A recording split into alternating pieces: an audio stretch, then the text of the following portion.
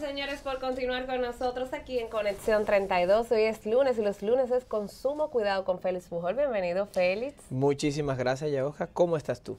Muy bien, gracias a Dios. Muy agradecida de que tú todos los lunes nos vengas a informar y a orientar con temas del consumidor. ¿De qué vamos a hablar el día Así de hoy? es, tenemos dos temas un poquito eh, breves, pero son importantes siempre tratar estos temas para todos los consumidores. Claro.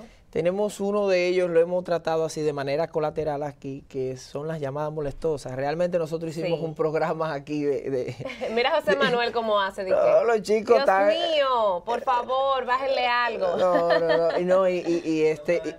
y- no, y- y, este, y es esta sí es, sí, esta es molestosa de verdad por lo siguiente.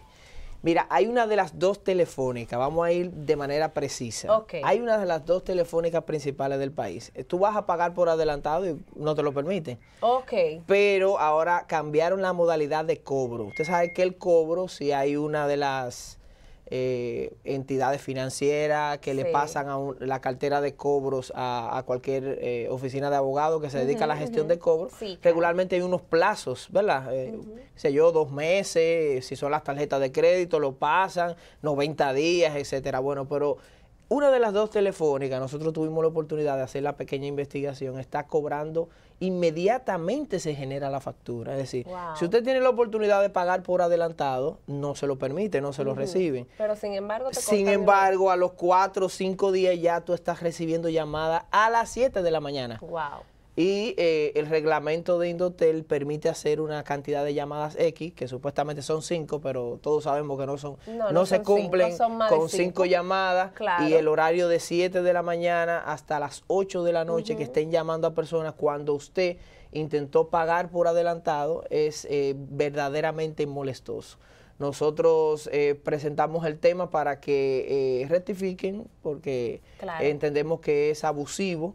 Eso, eh, mira, la paz es lo más, eh, lo, lo más preciado que puede tener una persona. Y a los usuarios que le estén llamando cuando se ha generado una factura a los cuatro o cinco días, cuando ni siquiera hay una deuda tal cual que tiene dos, tres facturas pendientes, es verdaderamente ¿Y hay un molestoso. mecanismo donde los consumidores puedan quejarse sobre este tema? Sí, eh, Indotel, eh, precisamente el reglamento lo elaboró Indotel para el tema de las llamadas de turbocobros, así se le llama. turbocobros. Exacto, entonces Indotel recibe eh, llamadas, denuncias para cuando eh, el tema de la dignidad humana está en juego y pueden reclamar la forma, manera y la cantidad de, de llamadas que le están haciendo a los consumidores. Ok, bueno señora, pues ya ustedes saben, ten- estén pendientes ahí porque este es un tema que no solamente, yo creo que eh, las telefónicas son una, pero también hay otras empresas de servicio Claro, que claro. son bien recurrentes recurrentes en, estas, en este tipo de llamadas. ¿Tú tienes otro tema interesante? Sí, nosotros tenemos otro tema que también hicimos una pequeña investigación porque eh, hay uno de los gimnasios, eh, sabes que estamos en la era fit, uno de los gimnasios. Sí, la era eh, fit. Sí, sí, sí. yo ah, quisiera ser fit y eh, no puedo. Pero tú eres fit, ¿qué pasa? no, yo soy flaca, pero Ah, no fit, ya. porque son dos cosas diferentes. Sí, bueno, pero a lo mejor te, te pones ahora. vamos a ver, vamos a ver. Fitna. Ah, bueno, mira, mira, estos muchachos. Señores, estos muchachos, ustedes porque no saben lo que es conexión aquí en el, el, estudio. el ape- apellido de Yaosca es Fitna ahora. Fitna, o sea, fitna, ya no es fitna. y Mire. entonces, Perdón, mi gente, miren.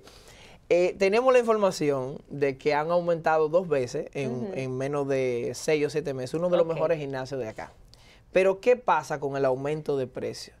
Que hay un desequilibrio contractual. Y ahí venimos otra vez para que ustedes vean lo amplio que es este- estos temas de derecho del consumidor, lo Sí. transversal, que hemos tratado los contratos de adhesión. Sí, ¿Se acuerdan sí, de los sí, famosos los contratos, de contratos de adhesión? adhesión, claro que Usted sí. lo firma y no puede modificar nada de lo que allí contiene. Bueno. no me diga que en el gimnasio también están esos eh, sí, contratos. y de manera masiva, Wow. de manera masiva están variando las condiciones que ya han sido pactadas, que ahí es que está el tema. Pero en el contrato El se con- establece algo y ellos no lo están cumpliendo. Eh, bueno, la, la cláusula famosa a la que ellos se están apegando es una cláusula que hay plantea un desequilibrio contractual desde el punto de vista económico. ¿Por qué? Porque si usted deseare, eh, re- eh, o sea, retirarse, a usted le cobran una penalidad. ok. Pero Sí, sí, es verdad, si es ellos verdad. aumentan el precio Ajá. de manera unilateral, aunque sean una o dos veces, cuando ya usted tiene un contrato firmado que dice que usted tiene una mensualidad, se supone, Ujú. O sea, que usted tiene el derecho de, de- de- de Claro, retirarse claro, porque por le ha- están variando las condiciones. Exacto. Bueno, pues eh, eso está sucediendo con eh, el sector gimnasio. También hay otros sectores que lo están haciendo. No se respeta lo que nosotros le llamamos la seguridad jurídica. Claro. Y ese es el tema que por nos- nosotros siempre insistimos en que Proconsumidor debe revisar todos los contratos de adhesión de bienes y servicios para que no contengan cláusulas abusivas, porque este es el ejemplo típico de desequilibrio contractual. Es un contrato que beneficia solamente a una de las partes. Así si es. usted firma un contrato y tiene una mensualidad, una cuota mensual, no se la pueden variar solamente para claro. beneficiar a una de las dos partes. Debe de ser así. Así es. Ahí, bueno, vuelvo y repito porque me gusta siempre que los consumidores sepan que si tienen algún mecanismo de denuncia Claro. en torno a estos servicios que se están cobrando y que se le está variando el precio de manera eh, constante Unilateral, y claro. unilateral, eh, saber si hay algún mecanismo para uno hacer alguna, un tipo de reclamación. Sí, sí, a, a todos los consumidores siempre que no haya un órgano sectorial, como en el caso de telecomunicaciones, Indotel, bancos, superintendencia de banco, este caso aplica perfectamente para ir a Proconsumidor. Ok, directamente en directamente a Proconsumidor. Proconsumidor. El Proconsumidor tiene varios mecanismos de manera presencial y eh, vía telefónica y también correos electrónicos pueden mandar. Creo que también por las redes sociales le toman las reclamaciones. Entonces, aquellos que siguen las cuentas oficiales de Proconsumidor también pueden hacer esas reclamaciones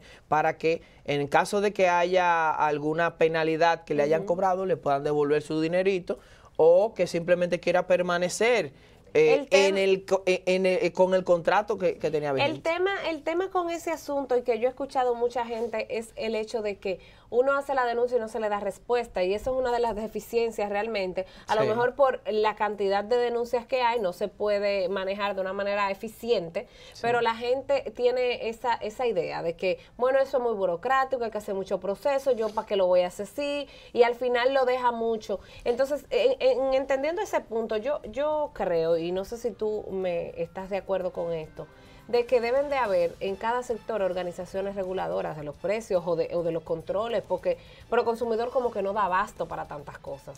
Mira, son dos temas diferentes. El tema de control de precios lo hemos hablado acá. Tú sabes, la ley de oferta y demanda no permite que en los, en los sistemas capitalistas de economía de mercado No, pero yo se digo, por ejemplo, en el precios. sentido de que hay eh, entidades, como tú dices, que no tienen, porque el área de, de banco, pues la superintendencia de banco, el área de llamadas, in- internet y telefónica, pues tiene Indotel, como que cada, cada sector no debería de tener un, un, un- un aval, así una, una empresa, una institución que lo apoye. Sí, eh, eh, tú, tú dices eh, los entes reguladores Exacto. sectoriales que estén vigilando cada función, sí, de hecho es lo, lo apropiado. Lo único que no tendría razón que se cree un ente regulador sectorial por cada actividad económica del mercado, Entiendo. porque sería una carga burocrática demasiado grande y hay un tema ahí de, de libertad de mercado que, que hay ciertos sectores económicos que la desregulación, o sea, que no hayan entes reguladores, que no hayan leyes especiales, ese es el incentivo precisamente para que puedan eh, operar.